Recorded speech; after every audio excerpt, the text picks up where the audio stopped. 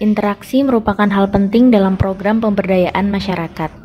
Dengan adanya interaksi, kebutuhan dan prioritas kebutuhan masyarakat dapat diketahui.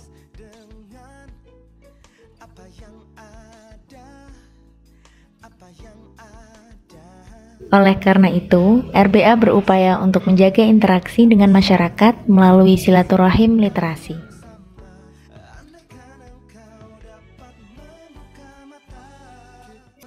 Silaturahim Literasi atau SL adalah salah satu program strategis RBA dalam berinteraksi dengan masyarakat. SL dilakukan di luar situs RBA dengan berkunjung ke masyarakat. SL memiliki dua tujuan. Yang pertama adalah mengenalkan visi, misi, tujuan, maupun semangat masyarakat dalam bergiat. Tujuan pertama ini dilakukan dalam proses awal interaksi.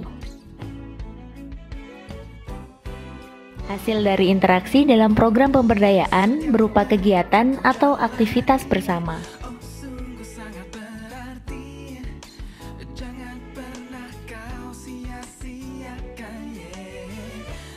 Biasanya lewat rekomendasi, rekomendasi dari uh, dari forum yang kita ikuti ataupun dari teman-teman relawan yang memang ada relasi ke sana gitu.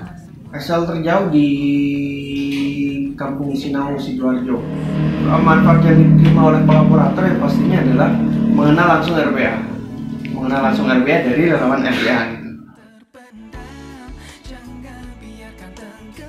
Tujuan kedua adalah untuk memelihara keberlanjutan dari kegiatan kolaborasi. masyarakat memiliki kesempatan yang sama untuk mendapatkan alternatif solusi dalam memenuhi kebutuhannya.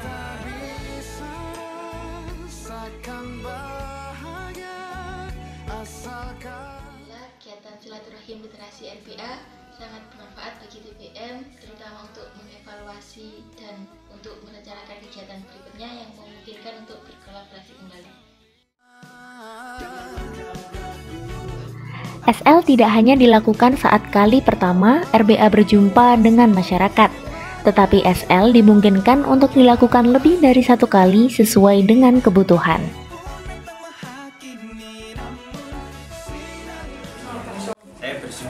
Sekali karena rekan-rekan dari RBA bersedia untuk uh, ikut nanti ikut turun ke masyarakat.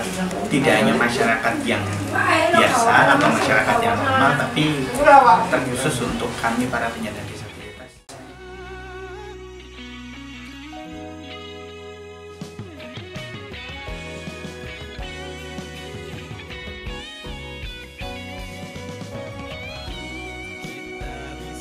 Kegiatan SL dapat membantu pengumpulan data terkait kebutuhan masyarakat sebagai landasan penetapan program pemberdayaan.